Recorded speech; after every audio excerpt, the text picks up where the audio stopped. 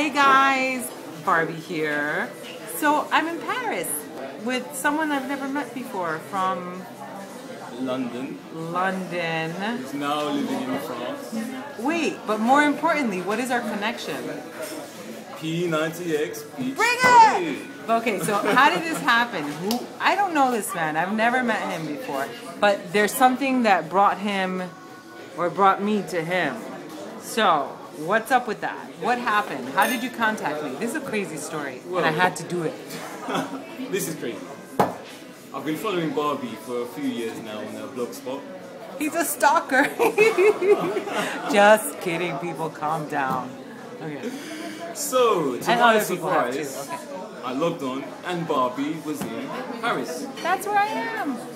She said she was doing a tour of Europe and I saw her in Croatia with this. Oh my P90X. goodness. And I thought to myself, I need this. Mark Martel, this is your hat that you're proudly passing on to our friends. Apparently she stole it too, so uh, I'm stealing it for the second time. Yeah. But So- you know what the rule is with that? You're gonna have to like eventually pass it on.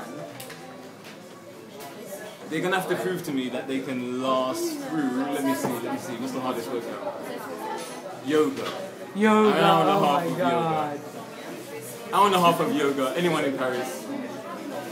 You can have that hat if you can get through yoga. It sounds like it sounds like a challenge. That is a challenge. So uh, I contacted Barbie by email, uh, saying that I really needed this hat.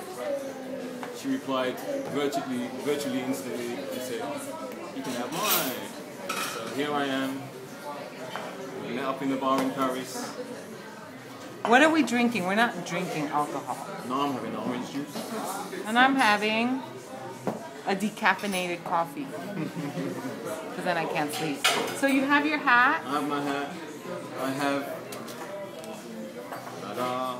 Shakeology.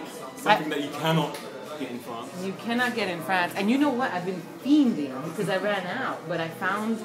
So you have one of my last packages. Unfortunately, you have greenberry and I'm a chocolate fan. So, but. I'm privileged. Either way. So anyway, I'm very happy to meet you and I'm happy that you have your hat and you do not have to give it away. You can keep your hat forever. Thank you, Mark, for giving away your hat. It's Thank your you, Mark. Thank you, Mark. You left it at home when you came to visit with your wife, Maria. Sorry. So bring it. I'm super happy to meet you. Bring it. Bring it!